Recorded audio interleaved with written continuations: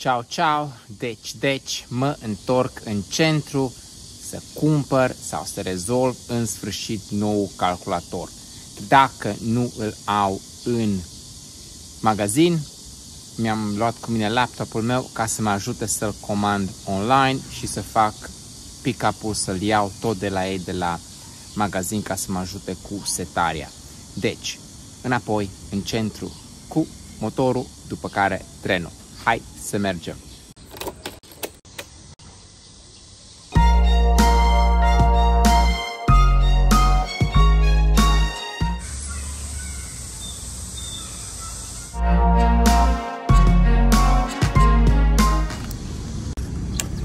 Este ora 11 dimineața, nu va fi foarte multă lume la metrou, dar aici în parcarea asta de motociclete și scutere și biciclete este nebunie mare. Hai să vedeți!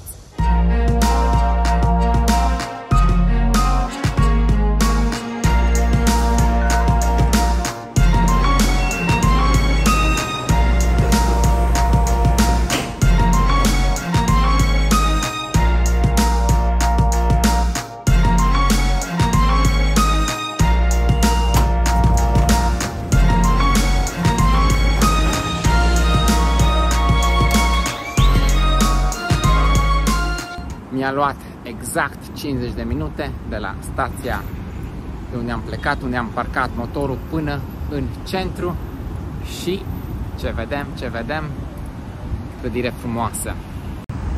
Pară din nou cea mai înaltă clădire din Beijing.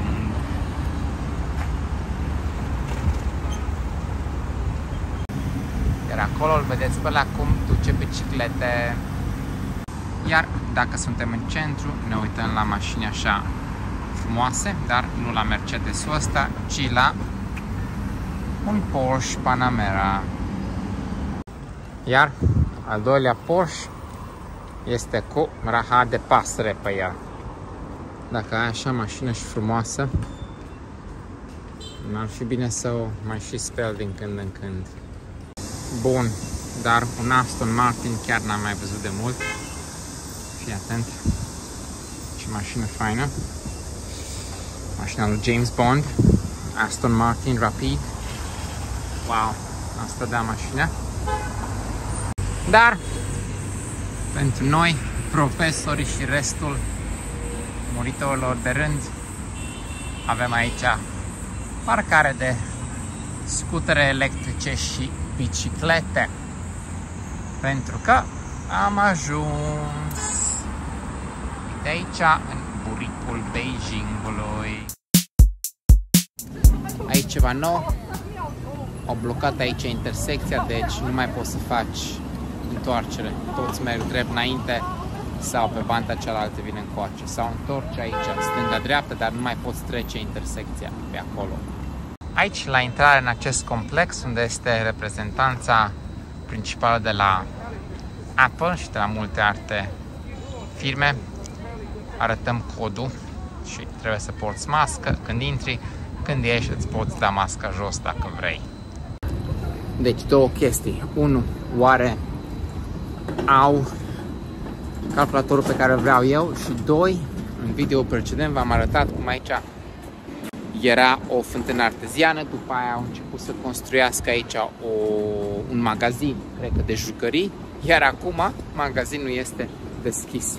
Voi intra, dar mai întâi mă duc să cumpăr calculatorul ăsta. Și reprezentanța Apple.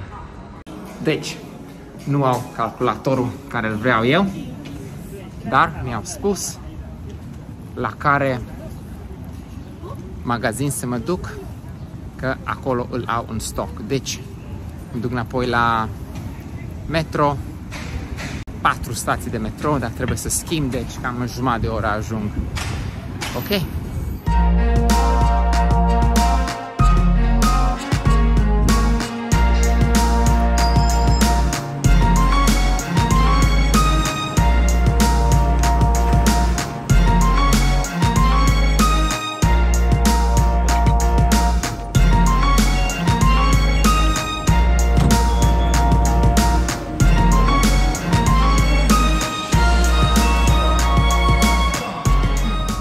Am ajuns în altă parte a orașului, dar se vede cea mai înaltă clădire și sunt aici la Joy City.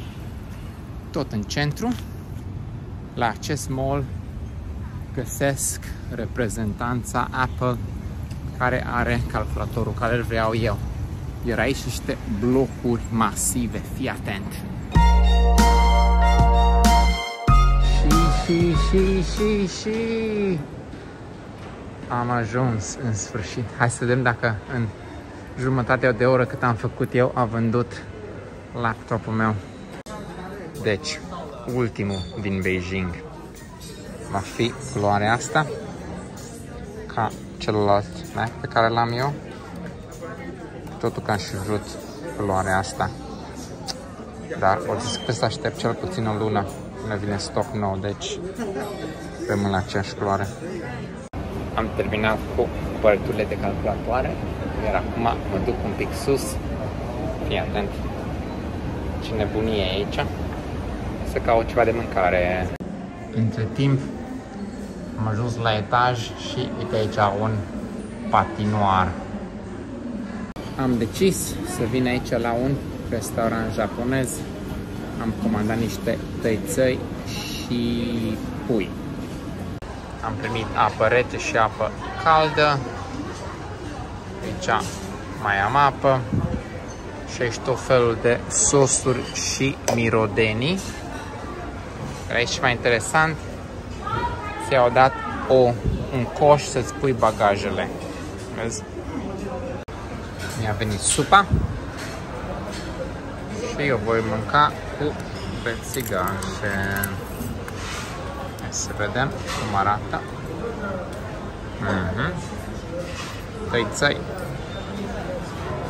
Mai bine, am terminat supa și au venit bulinele de pui. Deci așa am comandat aici tăițăi cu 43, am zis fără ulei, să nu fie uleioș. După aia am zis puțină sare, tăiței să fie sub formă normală și niște ceapă. Iar um, puiul a fost 19, deci în total 62. Iar pentru că sunt într-un mall așa de fancy, trebuie să găsesc ceva bun pentru pașna de mâncare, ceva gustare. Iar pentru pașna i-am luat niște croissants. Și aceasta a fost aventura în centru, aici la mall ăsta, foarte fancy. Mă duc acasă și pornesc calculatorul. Va trebui să fac transferul. Calculatorul vechi în cel nou. Va dura câteva zile. Dar, dar, dar, urmează, urmează. Ceau, ceau, pe mâine!